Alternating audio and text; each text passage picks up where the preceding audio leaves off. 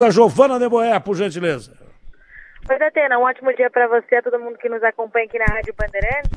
A equipe da Band voltou aqui à Zona Leste de São Paulo hoje para acompanhar o caso de um casal, que aí nas imagens que eu consegui mandar para o João, Datena, para quem está nos acompanhando no youtube.com.br Rádio Bandeirantes, pode perceber, e no Dial a gente descreve. É um casal, Datena, eles estão chegando em uma rua residencial em Itaquera, na Zona Leste, e logo na sequência, uma uma outra moto com dois homens começa a segui-los. O controle da garagem não funciona e esse casal acaba ali ficando à mercê na mão desses criminosos. Eles são muito agressivos, a gente conversou com essas vítimas, eles são agressivos, mas aí a, a esposa que estava na garupa da moto da vítima percebeu que o bandido não estava armado. E aí o que, que ela fez? Decidiu reagir ela não aconselha, e claro, a gente aqui no papel de comunicador, a gente não aconselha a reação de ninguém, mas ela disse que os filhos estavam presentes. O filho viu tudo ali na, no portão da garagem, a filha estava na sacada de casa, e ela só fez isso porque percebeu que o criminoso não estava armado e também que os filhos estavam próximos ali dessa cena do crime. O criminoso, não o suficiente ali de tentar roubar a moto ali na mão, na mão leve, né, na cara dura, ele também agrediu essa mulher de 47 anos. O alvo dos bandidos, Atena, era uma moto de alta cilindrada. Ali, o casal estava voltando de viagem de, com um grupo de amigos que também fazem essas viagens de moto ali por Minas Gerais. Eles estavam chegando em casa no momento dessa abordagem. Por sorte, os bandidos não conseguiram levar nada, mas agora o, essas vítimas, né, tanto o homem quanto a mulher, contaram que agora o que fica é o susto e também, claro, a indignação, né? Porque você paga seus impostos, paga seguro da moto, seguro do carro, câmera de segurança na casa, alarme e mesmo assim ainda fica sujeito a esse tipo de ação criminosa, da Tema. Giovana, é importante que você falou ontem é, de vândalos, né, jogando pedra na, na, marginal do Rio Pinheiros, na ponte Cidade Jardim. O problema foi resolvido, tinha polícia lá, estão tomando providência, porque de, repente vários casos foram atingidos e de repente pode provocar até morte, um acidente, um dos pontos de maior trânsito do mundo, não é, Giovana? É, e acontece dos dois lados da marginal, da Terra, tanto sentido da Avenida dos Bandeirantes quanto sentido Castelo, na altura da ponte Cidade Jardim. Ali o que acontece é o seguinte, os, os, esses suspeitos, né, esses bandidos, eles ficam com pedras ali, mas não são qualquer pedregulho, são pedras, quase blocos ali de concreto, esperando carros ali, principalmente carros de luxo ou carros um pouco mais caros, passarem e eles arremessam, principalmente no para-brisa ou no capô. A intenção é fazer com que esse motorista pare ali na via local da marginal e outro comparsa desça ali a encosta e consiga assaltá-lo. Mas os motoristas já estão ficando cientes, cientes né, de que esse crime aí, quando atingidos, eles não podem parar. O certo é procurar um lugar mais seguro. Por isso que nenhum roubo foi efetivado.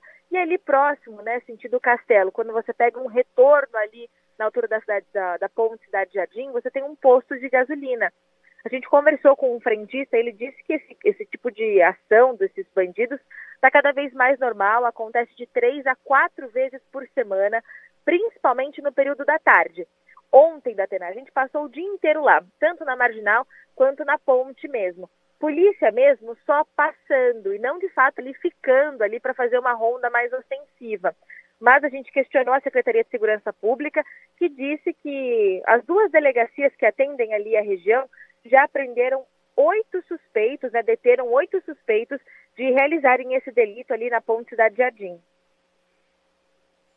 Olha, é, isso já aconteceu naquela comunidade, né? Eu presenciei isso num sábado, em que começaram a tirar pedras. Né? Foi quando começou a gangue da pedrada, lembra, Giovana? Não existia a gangue da pedrada, é, de, de repente, dentro da cidade.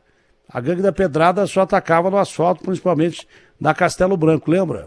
O primeiro Sim. episódio que eu vi dentro da cidade, é, eu acabei denunciando, é, avisei é, as polícias militares civil de que estavam jogando pedra daquela comunidade ali, perto da Politécnica, para assaltar logo mais à frente. Né? Começou ali, depois esteve no centro com a Claranelli fazendo uma reportagem e depois se espalhou pela cidade inteira. Se está acontecendo jogar em pedras da ponte Cidade Jardim, é? vão jogar pedras em pontes da, da, da, da marginal em toda a sua extensão. São quase 60 quilômetros as duas marginais. Né? Marginal Pinheiros, Marginal Tietê. Na Marginal Tietê parece que já atacaram também, parece não, já atacaram também algum tempo atrás. Então a polícia deve estar atenta a isso, né, Giovana? Com certeza, Datena, mas o que chama a atenção, né, minha, sua e também do nosso ouvinte, é que uma coisa é alguém tacar uma pedra numa, numa rua de bairro em que a velocidade máxima é 30, 40 por hora. Agora, numa marginal, mesmo que uma via local, os carros passam a 50, 60 por hora, né? E aí a gente conversou com, com, aquelas, com aquelas testemunhas que contaram que é pelo, pelo tamanho da, da pedra que eles jogam e o local que eles jogam parece que é pela maldade de jogar mesmo em cima dos carros. Porque a gente tem uma imagem, vou até mandar, Atena, vou até colocar no Viva Voz e vou mandar para o João, para você, para o nosso telespectador conseguir ver, porque são pedras gigantes, arremessadas principalmente no para-brisa desses carros, na direção do motorista. Então dá a impressão que é jogar por jogar pela maldade e nem tanto pelo intuito de roubar, né? É, é impressionante mesmo. Isso tem que ser parado, porque senão é, é, a marginal é uma, uma, via de velocidade, né? É, de 90 km até.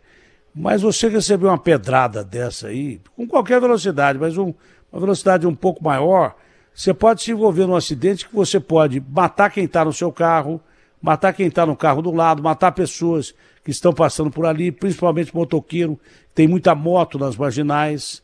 Então, é, tem que impedir esse tipo de assalto que já levou muitas vidas. Eu me lembro daquele menino na entrada de Cubatão que jogaram uma pedra no carro da família dele, o menino de 15 anos morreu na hora. Outro assalto aqui, inúmeros assaltos aqui no Rodoadel, um motorista de caminhão parou para ajudar uma família que tinha levado uma pedrada no carro. Ele foi atingido com três tiros no peito pelos bandidos e morreu. Então, olha o tamanho da pedra. Olha o tamanho da pedra. A Giovana disse que é do tamanho de uma caixa de sapato. Mas do sapato 44, pelo que eu estou vendo aqui. Giovana, mais alguma coisa, Giovana?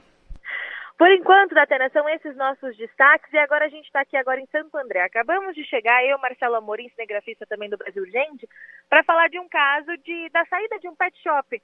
O casal estava saindo na saída dos pet shops, sabe aquele, aqueles estacionamentos de calçada que você para de frente para você sair para a rua, tem que sair de ré. Sim. Eles estão saindo ali num, num Audi, né, um carro um pouco mais aí de um poder aquisitivo um pouco maior. Na hora que eles estão saindo, um outro carro para trás impede com que esse carro das vítimas consiga sair. O cara dá até uma buzinadinha, pensa ali que alguém que parou ali por engano. Quando vê, já saíram três, quatro, quatro bandidos desse carro, anunciam o roubo, levam o veículo e mais as vítimas ficam desesperadas porque os cachorrinhos da família estão dentro deste carro, da Tena. Que absurdo, hein? Eu não sei, mas onde a gente tem o final disso tudo. A gente está sendo caçado pelas ruas. Obrigado também à nossa brilhante Giovana de Boer, eh, que já foi da Rádio Bandeirantes, revelação da Rádio Bandeirantes, e hoje é uma grande repórter lá do Brasil, gente. Obrigado, Gil. Bom, bom trabalho para você.